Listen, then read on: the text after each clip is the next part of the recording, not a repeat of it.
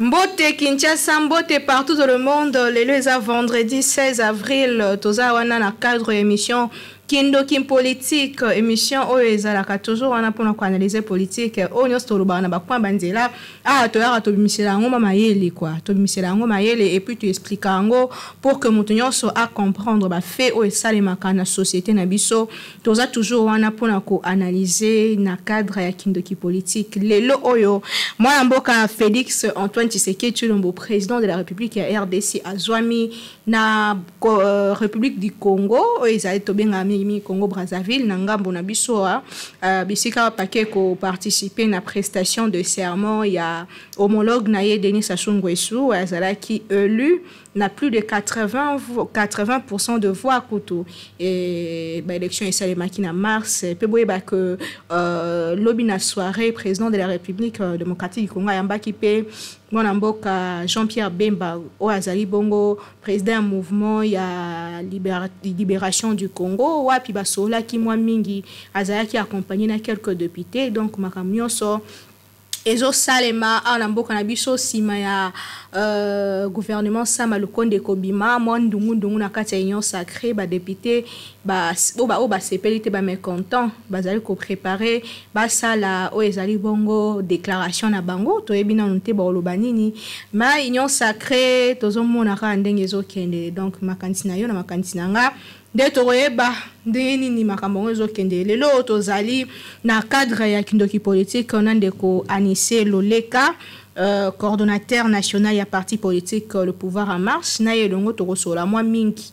na oyo etali bongo uh, actualité politique ya mboka na biso baquestion na bino biyano na ye baquestion na nga mpe biyano na ye nyonso wana tokodecouvrir yango ensemble mwana mboka anise loleka mbote na yo mbote mama journaliste ya naomi boni parti politique na yo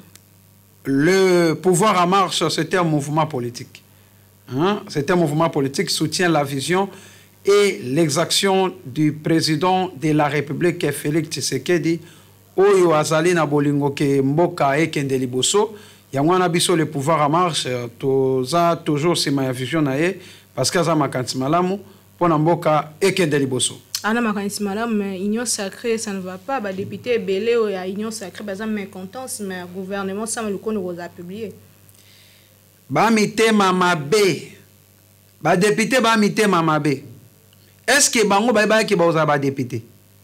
Bayebaka te ke no bakozala ba deputes un jour na kati ya RDC. Tant bazalaka na bandako na bango bayebaka ke bakozala ba deputes? Non non. Moto akomisi bango ba deputes eza nani? Population. Population nde moto a voter bango abike non. Bino bokende bolobelaka biso kuna na kati ya parlement. Balobela na peuple nini? Peuple aleli alobi ke non insecurite ezali mingi. Ba nzela eza te. Budget mboka ezosimba te, economie ezosimba te, gratuité enseignement ezosimba te, etat de droit ezosimba te. Mboka ezokende na mabe. Wana nazolobela ntango ezalaki na ancien regime ya ancien président Joseph Kabila. Lelo ekomi bien. Nazo nazo nazo yanola yo. Mm -hmm. Lelo peuple nde tindi bango bike non bokende na président kozala ya sika Félix Tshisekedi bokende bolobela biso bokomisaka mbela na biso epa na président kuna na parlement eza place oyo bavotaka mibeko mpe bakontrolaka gouvernement totindi bino badepute en d'autres terme bazali lokola bana bitinda ya population bango nde baza bana bitinda me tala makambo ya soni bango bake kuna mpo balobela peuple fabake balobela peuple bake kolobela peuple te bakomi bangwalima minene non non ce n'est pas du tout possible soki bango bazalaki hmm? te mais lelo biro mabunda ekweya te mais mpo biro ya mabunda ekweya esengaki nde na population evote bango bazala badepute badepute wana bazo represente nani bazo represente peuple mais il fallait nde bakende na parlement balobela oyo etali intérêt ya population mais ntango bake kuna population ezonyokwama awa dola eza ya komata makambo ezosimba te na kati ya mboka bango mpo balobela nano oyo ezali intérêt ya peuple congolais balobi pas d'abord l'intérêt de la population l'intérêt d'abord de notre famille eza normal te me bato banyokoma na mbula awa babima mpo bakende bavote bango bakoma badepute me eta lelo nde bakomi baingrand bakomi loba ingrat responsabilité wana eza partage te mpe population andimaki kokomisa bango badepute mais nazoyebisa yo population na bikeno apesi bango mandat ozomona bambela population bakomisi bambela na bango te bakomisi yango te mama journaliste population ebisi bango ke non Bokende tala souffrance eza boye na ancien regime oyo to vivre boye na ndenge topesa bino nda mbela na biso ntango tokovute bino na mokonzi oyo akoya ya sika bokomisaka mbela na biso epa mokonzi ya sika me bango bakomisaka te bango bakendaka kuna d'abord le ventre de notre famille d'abord le ventre de notre famille eza malamu te omoni na 2023 ntango election ozala bakozwa te tous les députés ozomona bango wana oyo bamitema mabe balakisi na population bakozwa isu te bakobima te parce que population sa comprendre que non le seul moto oyo alingi ke mboka oyo ekende liboso oyo alingi ke non vie sociale ya peuple congolais change eza président félix tshisekedi eza motu moko oyo peuple congolais akozongisa na bokonzi lisusu eza kaka président félix tshisekedi lelo soki badepute wana batelemi baboyi koinvestir gouvernement sama lokonde qu'est ce qui va se passer mais tika nayebisa peuple congolo bakolanda biso otuni motuna eza malamu première institution ya mboka ezali président de la république deuxième ezalaka assemblée nationale parlement oyo tolobaka Euh, troisième eza gouvernement et assemblée nationale ezali organe oyo evotaka baloi mpe ekontrola mpe gouvernement soki lelo baboyi lelo koinvestir lelo gouvernement oui baboyi koinvestir yango problème eza te président de la république akoconvoke réunion ya inter institutionnelle Ndenge ezali na kati ya constitution, ako convoquer reunion ya interinstitutionnel ou akoki ko dissoudre ensemble nationale wana directement. Mpo na crise nini? Mpo crise oyo ba député bazosalana bazoluka crise entre ensemble nationale na gouvernement. me ntango president akomona ke non crise ezali le moment na ntango mosusu akoki koconvoke réunion ya inter institutionnel soit akoki kodisoudre yango directement soki adisoudre yango ekosenga sikoyo na deux mois mpo na organisation ba élection ya badepute eza possible yo nazoyebisa naseni nini na bamoye nini yo nazoyebisa yo tozokende mhm. na demo parce que constitution nde elobeli yango so lelo président dissoudre yango akoganza lelo baélection na na Après deux mois, deux mois. Mm. c'est-à-dire 60 jours sikoyo soki aorganize yango na 2023 élection ekozala lisusu mais il faut kofungola peuple congolais badepute baza na bazali ma badepute te ezali baza ma ba depute te depute oyo peuple atindaki a represente ye kuna akoki kosala buzoba wana te mpo badepute wana estce bo baza bafamille te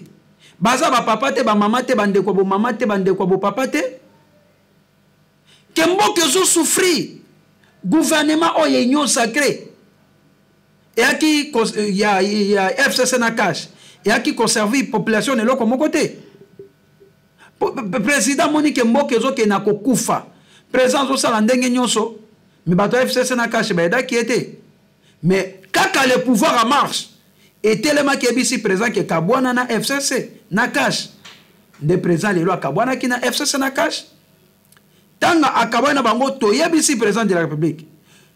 ntango osali consultation luka opona premier ministre oyo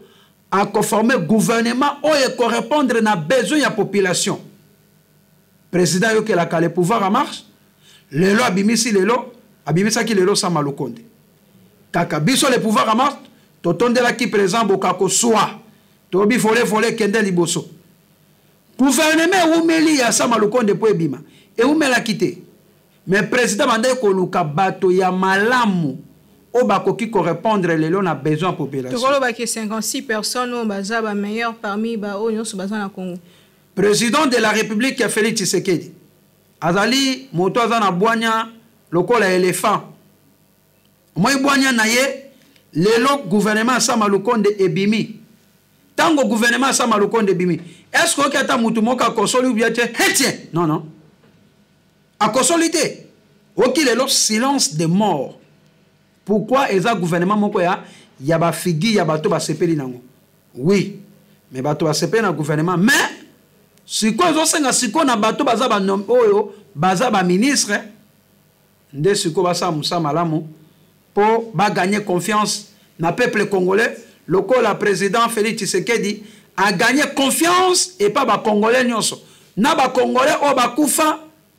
na bao baza na bomoi na bao baza na awa na Congo na bao mpe baza libanda mboka a gagner confiance na bango mais ba député hmm? ba ba ba ba, ba ministre bazali mpe nomena baluka mpe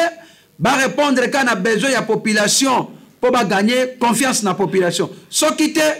population kopesa yango confiance soki lelo fo solution ezwama na sens ya ba solution pour que union sacrée etikala ndenge ezali li solution ezala ndeti nini mais parce qu'en réalité eloko moko te ezokosangisa bango baye kaka tosangani mpo na vision ya chef de l'état mais soki bango nyonso badeside lelo bakende solution oyo chef de l'état ifo azwa eza nini soki babake député baza combien bazalaka so 5 se kerke n'est-ce pas soki lelo bake badepute na basenatere bakoza sisa ekelke so bakei président kotikala na population population nde moto ya kotikala na président de la république c'est fini bango ata bakei bakei na bango mais peuple se comprend que non président félix nde ye aza na bolingo ke mboka ekende liboso mama journaliste ozomona ata lelo so bakei bakoke na bango eza mbala liboso te bandi kocombattre lo euh, président félix babandi kocombattre depuis azwa bokonzi na mboka oyo bakombataka ye pourquoi parce que aza na makanisi malamu ke mboka ekende liboso moto aye na initiative ya état de droit bazo combattre ye muta ye na vision ya gratuité enseignement aye na sécurité aye na vie sociale bazobundisa ye mais bazobundisa président de la république te mais bazobundisa nde peuple congolais parce que président azoluka nde bolamu ya peuple congolais parce que na nse ya régime touti na lobwaku touti vraimen na boumbu mais président félix aye kolongola biso na kati ya boumbu wana aye kolongola biso na kati ya prison aye kolongola biso bisika nyonso tozalaki neutralise aye sikoyo kobimisa biso tokende na kati ya mboka ya terre promise lokola bana israel bazalaki na prison na egypte ndenge moko mpe bakongolais tozalaki na prison ancien régime oyo ya kabila na bato na ye lelo président félix aye kobimisa biso na kati ya ya boumbu wana aye komema biso na kato babengi ya état de droit gratuité enseignement mm -hmm. social sécurité ozomona ke kimia ezala malamu na kati ya mboko nde ozomona eloko président félix azokufela bango bazolinga ye te ozomona balinga ye balinga ye te bayeba keno président félix azali na soutien ya bakongole nyonso na bakongole oyo bakufa na bakongole oyo baza na bomoi na tata nzambe président félix aza na soutien ya tata nzambe na soutien mpe ya lucifer tozolobela eza ya bongo émission kindoki politique euh, tozocontinue ko Euh, koanalyse actualité politique elongo na ndeko anise loleka mwana mboka anise loloka oza trop félix trop félix trop félix euh, eza avi na yo mais kasi eza trop félix te non parce que non non oui. vision na ye nde eza malamu vision na ye eza malamu oui aye na vision ke mboka eke liboso c'est pour cela biso le pouvoir en marche en sigle lpm toza na sima ya vision na ye parce que vision wana oyo aye nango wana babengi état de droit mm -hmm. gratuité enseignement sécurité vie sociale éducation santé eza mpo na intérêt ya famille ya tisekedi te eza mpo na intérêt ya famille ya chilombo te mais ezali mpo na intérêt ya bacongolais nyonso nde yango wana le pouvoir en marche toza na nsima na ye nde bodesidaki kolanda ye kasi lelo oso toni tolobela likambo etali badefi ya gouvernement sama lukonde soki kotanga yango na misapi badefi na bango eza mpenza nini mpo koyeba ke bakotravaille toujours na budget oyo ezalaki vote e, eza vraiment malonga te fo koloba yango verité kasi lelo badefi na bango pour ke balanda ndenge ozolobela likambo ya vision eza nini badefi yango Defi oyo gouvernement ya Sama Lukonde ekoki ko repondre eza kaka oyo population ezosenga. Population ezosenga az, azosenga nini na gouvernement oyo? Un, etat de droit il faut ezalama appliquer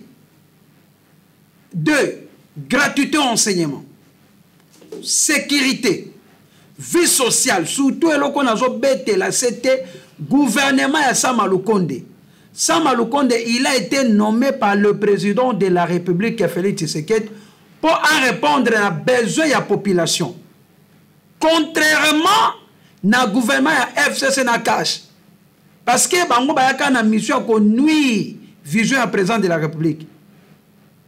ilunga elunkama na bato na ye banda kosala nyonso mpo bayinisa président na miso ya population heureusement que le pouvoir en marche biso tozalaka prudent toyebisaka na président ke akabwana na fcc président lelo akabwana lelo na fcc longonya mingi ntango akabwanaki na, akabwanaki na fcc na cash parce que le pouvoir en marche totelemelaki eloko oyo totelemelaki président aye kokabwana na bango akendaki na consultation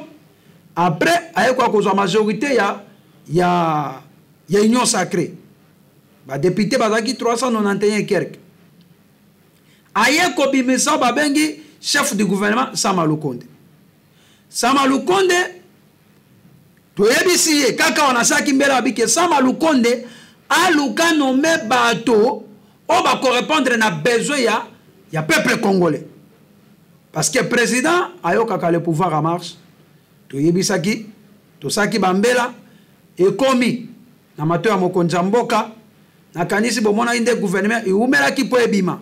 banda oluka bato ya malamu to problème ya kowelela nde eh, kowelela te banda koluka bato ya malamu président andaki koluka bato bakoki korépondre na besoin ya peuple congolais pourquoi nabi ke président andaki koluka parce que sama lukonde azali chef du gouvernement ye alobaki ke non akosala gouvernement na ye ya wario wario ndenge alobaki yango ezali gouvernement baguerrier mais tango osali composition ya gouvernement na yo il faut memela président de la république atala bato oyo opropose oyo mpe bakosepelisa lelo population combien de fois oyo aproposaki président abi te oyo te oyo te oyo te mais aturo président de la république ayeko akondima yango parce que amoni ke non bato wana bazali bato bilongi ya sika mpe bato oyo bakosepelisa lelo peuple congolais oyo bakosala mosala malamu guvernema yango oyo esi ebimi deja ngai nazo rapele kaka na sama lukonde biso le pouvoir en marche elongo na ngai moko coordonnateur tozali korapele na sama lukonde keno azalaki nomme mpa na président de la république Pour à répondre na besoin ya population. Pour na correspondre na, be, na besoin population asali gouvernement na ye. Pe gouvernement wana il faut e se baser kaka na besoin ya peuple congolais. Il faut e travailler pour l'intérêt ya peuple congolais. Soki gouvernement oyo e repondre te na besoin ya population sama lukonde biso le pouvoir en marche tokosalela ye marche ti tokokoma ti kuna na primature na biro na ye akodemissionne boza na opposition boya mpe na majorité bino moko kaka me nazoba boye biso tosoutenir vision ya président mm -hmm. vision ya président eza malamu ke mbokeke liboso mais soki premier ministre oyo aye wana aye kosala makambo oyo ya nyamunyamu ya mabe biso le pouvoir ma tokotelemela ye pourkui nabi ke tokosala ye marche soki gouvernement naye répondre te na besoin population temps oyo bopesi ye eza combien de temps zela na biso euh, euh, gouvernement ilukamba esali presque deux ans na ndambo ye mpe sama mpasa na deux ans sama mpasa na deux ans ozomona biso na 2023 déjà non ça demande seulement mutu il faut kozalaka conscient ozomona qu'il faut ozala kaka conscient na bolingo mpe ya mboka surtout na une année makambo mosusu mpe kosimba na une année soki bato baza na volonté baza mpe kaka na budget wana ya mokie zela nazwebisa madame nazwebisa yo mpe hmm. nakozonga wana pourquoi nabi ke no tokosalela sama lukonde marche biso le pouvoir ya marche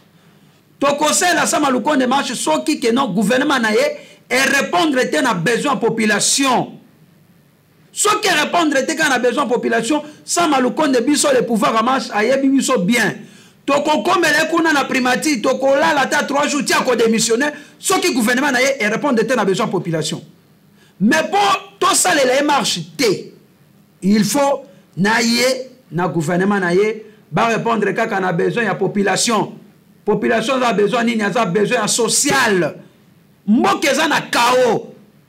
gouvernement oyo ya, ya fcc ebomi mboka parce que bango bazalaki majorité na kati ya ya parlement mpe na kati ya gouvernement babomi mboka y compris na cash bazali na kati cash azalaki majorité te soki lelo tozoma majorité fcc moto azalaki majorité na kati ya parlement mpe majorité na kati ya ya ya gouvernement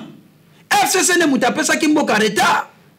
ozomona fcc ni moto epesa elongo mboka retard ni tete fcc me mboka oyo tolinga toleka afrique du sud na france ana na 2 ans oyo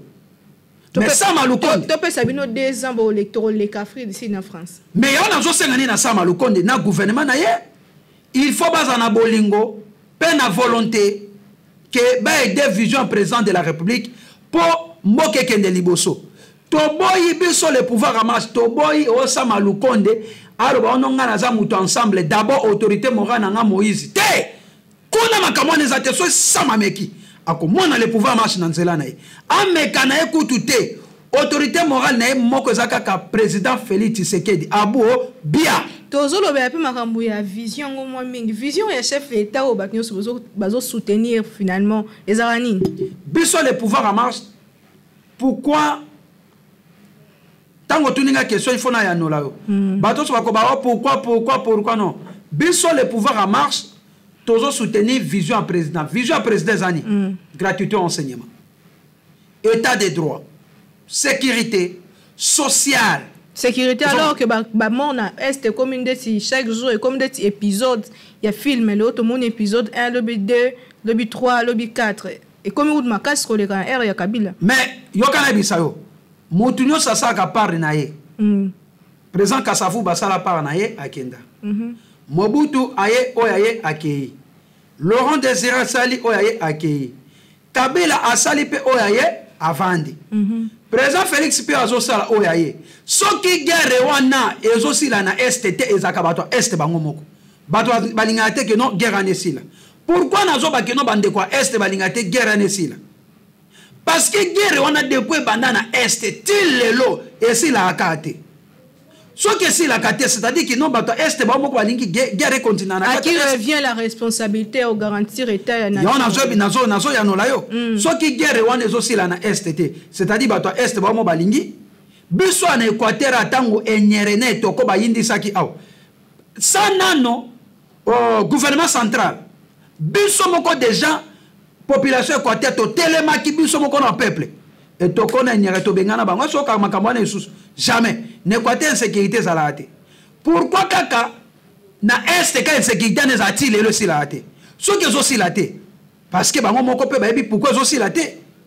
nga apesaka faute wana eza epa na bango entre entre babandi osala bamarche mpo na kobengaka monisco makanisi nio eza nazoyanola wana eloko wana mm. biso le pouvoir marche tokosenga mpo na guerre wana esila na este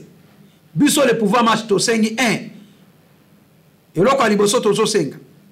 na ba chef coutumier ya ba ya ba grand kivu euh, les notables de grand kivu le depute provincial de Grand Kivu, le depute national de Grand Kivu, le senateur de Grand Kivu, les anciens gouverneurs et les nouveaux gouverneurs des anciens Kivu basangana bango nyonso esika moko mpo batrouve solution eloko wana bavanda esika moko basolola pourkui guerre oyo esilaka te me bandeko bazokufa ezali ka bandeko na biso tosangana oyo totrouve nano solution tovanda autour d'une meme table to soki parmi biso oyo ayebi likambo oyo ou bien asoutenaka groupe moko quelconque ou bien ayebi secret moko quelconque atika pourkui atika parce que bato bazokufana bazaka bandeko na biso bacongolais ezosenga na bango nde fo bavanda basangana soki bato wana oyo biso le pouvoir marche tosengi ke basangana soki bazosangana te guerre ene osila na est te pourkui ekosila na est te tomonaka président kabila asala mosala monene na kati ya mboka oyo me bato baignoraka yango bato baignoraka asali mosala ya koconvoke conseil de sécurité conseil conseil conseil mais bato kaka memi bato wana okabila banda kosala bango réunion ya conseil de sécurité soki basisi réunion bake kuna ota makambo kabila alobi boye ta kabila alobi boye to change stratégie ozomona guerre ebandaki kosalema bato bazokufa ndenge moko mpe pa président félix tshisekedi ntango azosala conseil de sécurité soki asilisi bato wana bakoki kodenonse kuna omoni tala président félix makambo azwi tala alobi boye tala alobi boye mabe nde ezouta wana parceke bato wana basangani nanu te soki bato wana kaka oyo ngai natangeli yo bango ke bavandi kini ekozala na este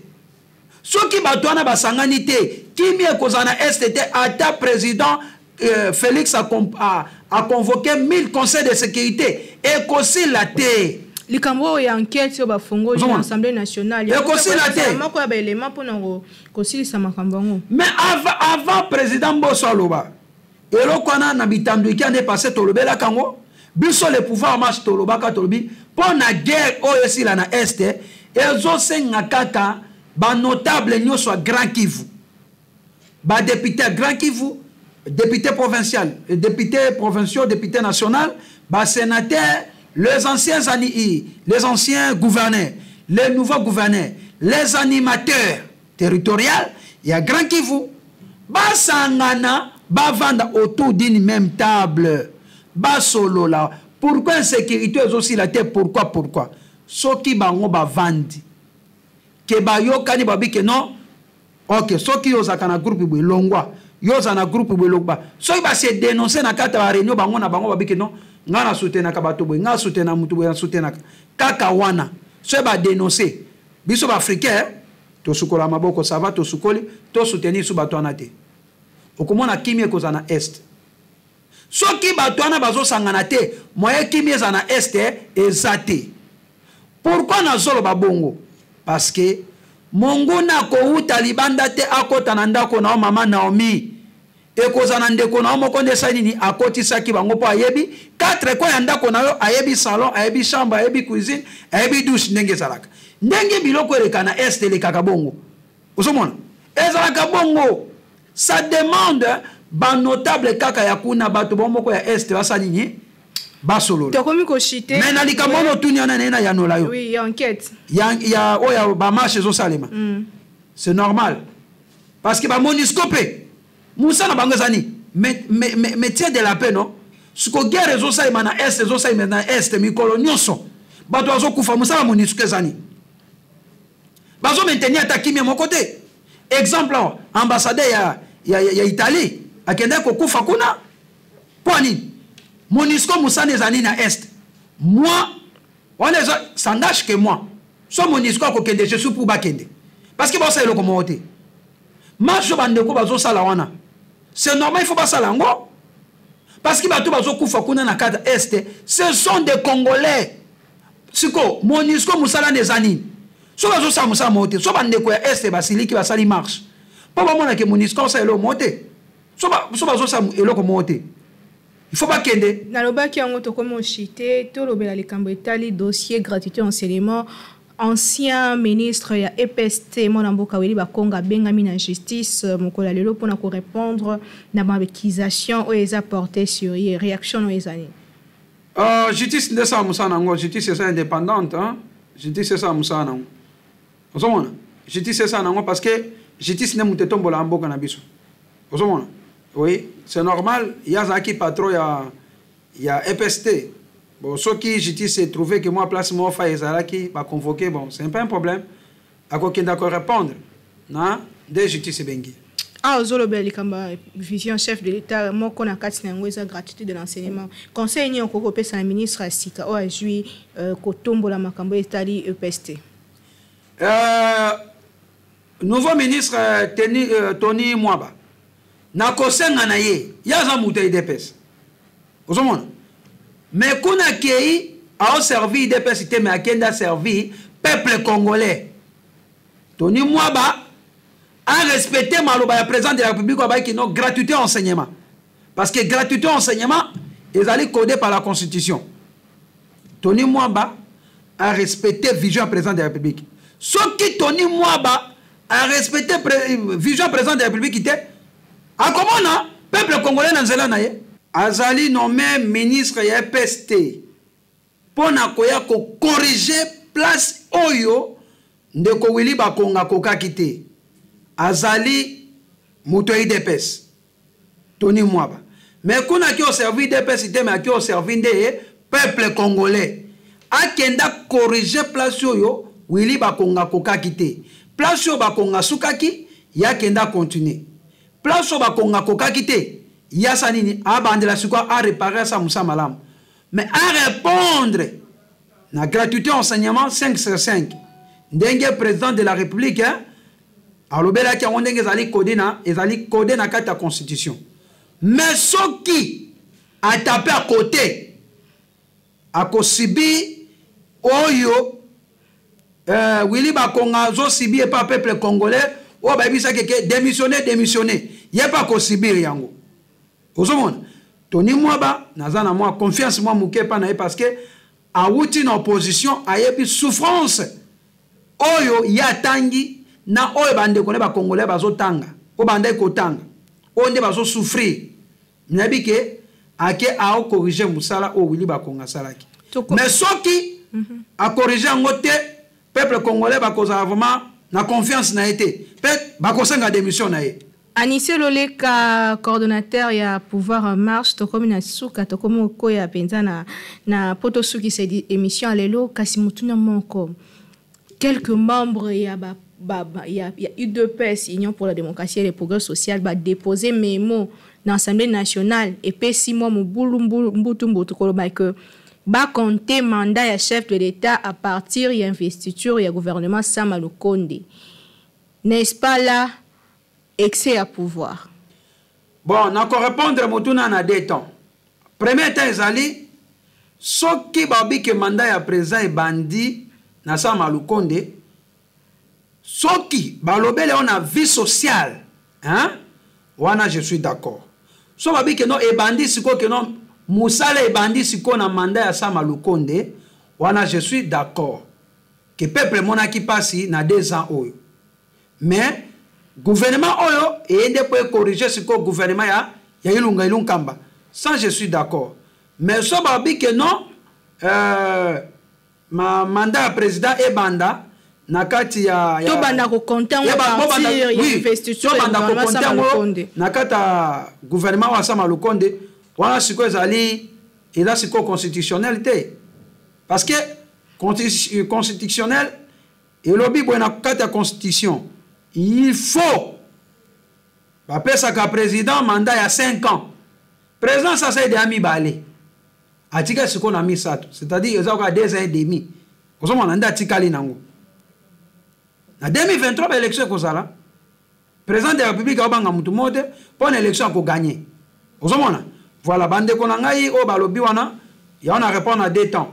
n'est-ce pas wana kijalelo apparemment ekomi mpe makasi na ngambo na bino na ngambo ya nani ya le pouvoir en marche bino nionso baye ya cash non non biso toza le pouvoir a, a marche biso LPM en sigle ndenge ozomona yango awa le pouvoir a marche biso to soutenir vision ya président de la république ozomona eza likambo ya jalelo te moto aye na vision ke mboka eke malamu il faut koaccompagne ye ata yesu kristo ntango ayaki kokufela biso biso lelo bakretien tosambela pourkui mpo na kosoutenir lelo mosalasala ndenge moko lelo mpe président félix vision aye nango mpo aye nango mpo na intérêt ya peuple congolais ozomona mpo na intérêt ya peuple congolais soki bandeko oyo ya idps bandeko na ngai balobi ke no manda ya président ebandi na, na gouvernement ya sama lukonde soki ke ezali mpo na vie sociale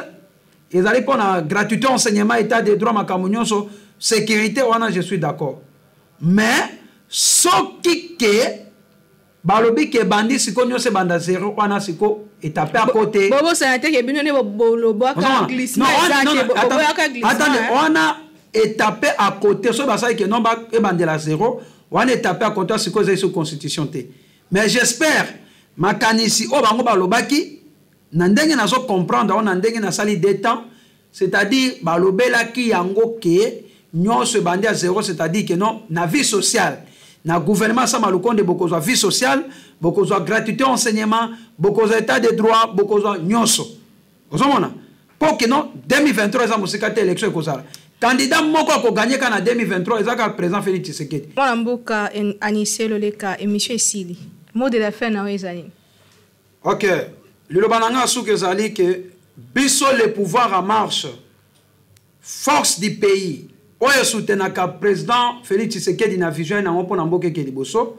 tosengi kaka na sama lukonde arépondre na besoin ya population congolaise ye na gouvernement na ye oyo ebimi ya union sacré soki arépondre te na gouvernement na ye a répondre te na besoin ya population na gouvernement na ye na ye tokosalela bango marche bakodemissionne atako baza union sacré